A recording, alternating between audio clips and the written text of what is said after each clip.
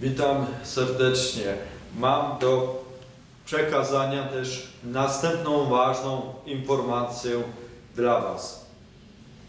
Polski Związek Głuchych nawiązał współpracę z Instytutem Transportu Samochodowego, który jest w tej chwili odpowiedzialny i prowadzi prace związane dostosowaniem egzaminów na prawo jazdy.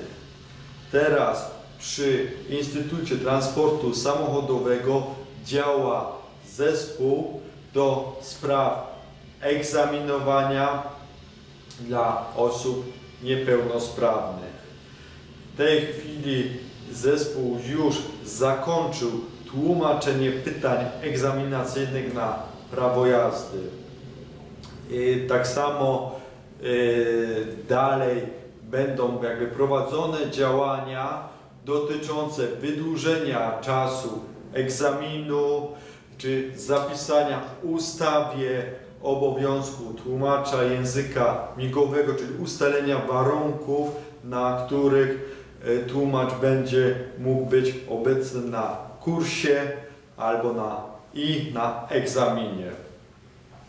Dodatkowo będą też potrzebne tłumaczenia ustawy Prawo o ruchu drogowym.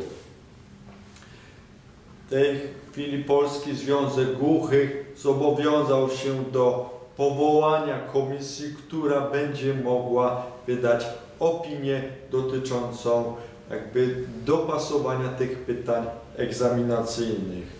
Dlatego mam gorącą prośbę do osób głuchych, które już teraz rozpoczęły kursy na prawo jazdy, ale jeszcze są przed egzaminem, aby zgłosiły się do nas. Zawiadomiły nas wysyłając e-maila albo głosząc się do oddziałów.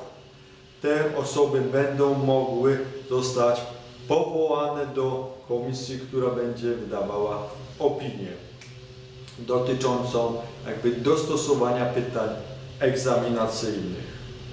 To jest bardzo ważna sprawa, bo Instytut później przekaże te wszystkie materiały do Ministerstwa Transportu i to ministerstwo podejmie decyzję o wprowadzeniu tych zmian w życie. Mam nadzieję, że to będzie szybko i egzaminy na prawo jazdy będą już dostępne końcu dla osób głuchych. Dziękuję. Do zobaczenia.